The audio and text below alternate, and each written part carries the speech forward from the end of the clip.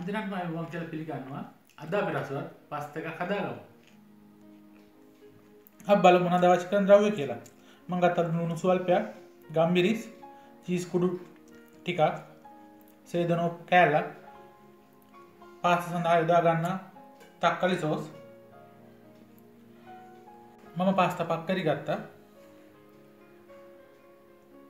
Carrot ගෙඩියක් බැසිල් කොළ ස්වල්පයක් ලුණු ගෙඩිය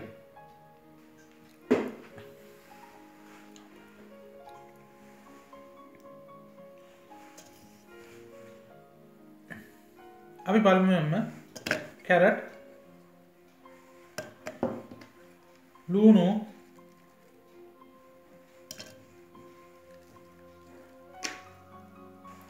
සහ සේදනෝ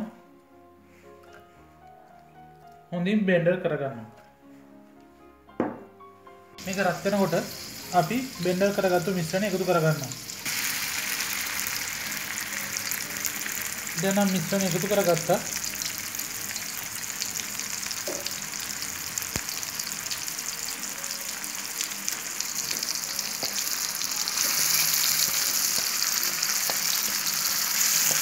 දැන් මම මේ මිශ්‍රණය අවශ්‍ය පමණ ලුණු ස්වල්පයක් එකතු කරගන්නවා.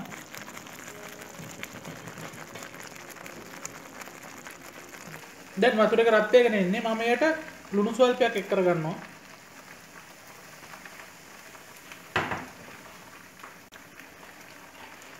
දැන් එයට පාස්ත එක් කරගන්න මම පාස්ත ග්‍රෑම් හාරසියක් ගත්තා.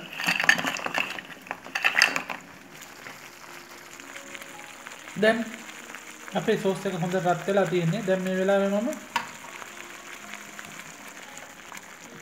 පාස්තා වලට ගන්න සෝස් එක එකතු කරගත්තා. දැන් මේක හොඳින් හිදෙනකම් අපි රත් කරගන්න.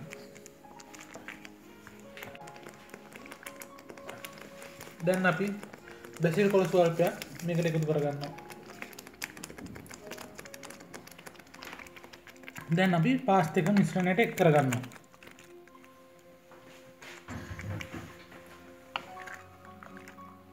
දැන් හොඳින් මිශ්‍ර කරගන්න.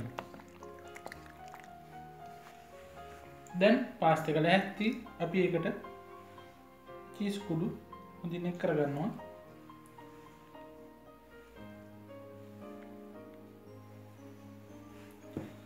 දැන් එයට ගම්බිරිස් කුඩු ස්වල්පයකුත් එකතු කරගන්න. ඔබත් මෙමෙන් පාස්තිකත් සාදා රස බල. අපි අලුත් විදිියකින් හමුුව ඔබ සැමට සුප දවසර